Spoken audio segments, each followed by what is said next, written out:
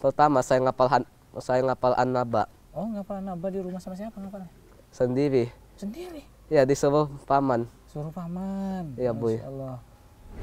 Oke, eh, pemirsa, ini luar biasa ini. Eh, Muhammad Arifin ini adalah seorang anak yatim piatu, luar biasa. Dan eh, selama ini beliau dulu tinggal bersama pamannya dan sekarang beliau sedang eh, menghafal Al-Qur'an fokus yaitu di Pondok Pesantren Al-Qadari yang ada di eh, Tembung ya, Medan, Sumatera Utara. Baik, kita lanjut lagi nih. Eh, katanya orang tuanya itu ayah dari luar negeri. Ya boy. Dari negara mana? Myanmar. Myanmar. Kalau ibu Dari orang sini boy. orang sini, Indonesia. orang Indonesia. Ya. Eh, dan keduanya sudah meninggal. Ya boy. Insya Allah. Kalau eh, boleh tahu sebenarnya sayang nggak sama orang tua? Sayang boy. Jadi menghafal Al-Quran ini apakah ada motivasi tertentu?